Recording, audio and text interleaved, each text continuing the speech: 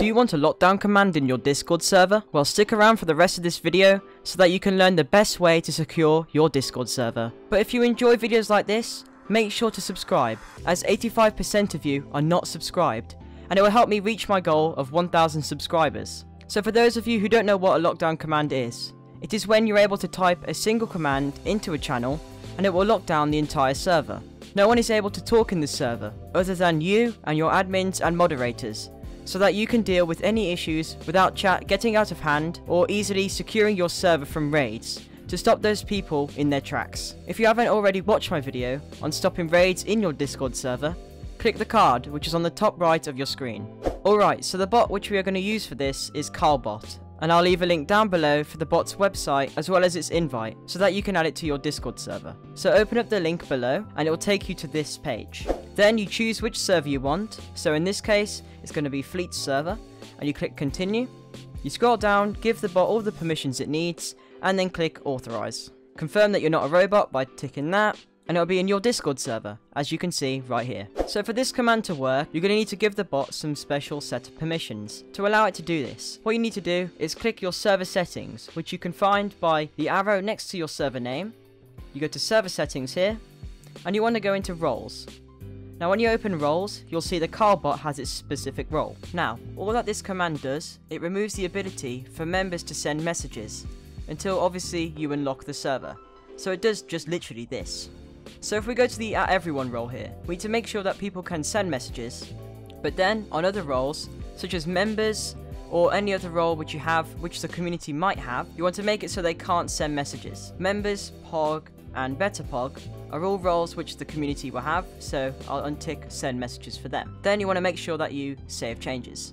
Now, in order for the bot to actually overwrite these permissions, you need to make sure that the bot role is higher than all the other roles, apart from obviously your owner and admin and moderator, because they still need to be able to control the server. Now, you want to move over to channel permissions. So click save changes, and press escape or this arrow here, and then we're going to move over to different channels.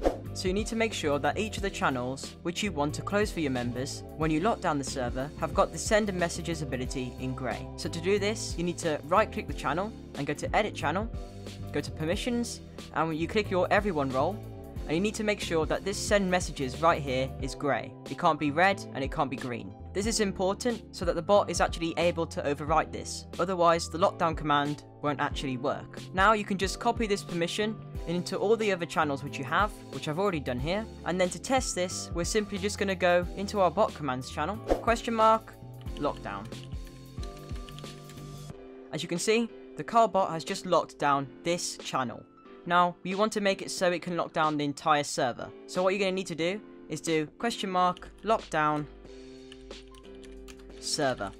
And that would lock down the entire server. And then to open that, all you need to do is go question mark unlock server. And there you go, you unlock the server.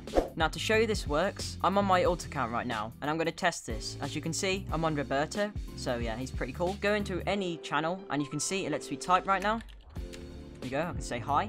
So if I now go to my other Discord, which is this one here, as you can see I'm Fleet. If I go to General, where he's there, exclamation mark, lockdown. There you go, it will lock down General, so if I go to the alt account, it doesn't let me type in there, but I can still type in the other channels. Now I want to unlock General. You can see I can type in here again. If I'm going to do this so I can lock down the whole server, I need to do question mark, lockdown, server. There you go, it's locked the server. And Roberto can't type in this channel, this channel, this channel, this channel, and this channel. So that's it for today's video.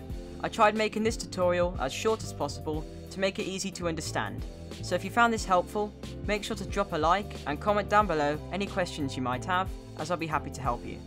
Thanks so much for watching, and I'll see you guys in the next one. Bye!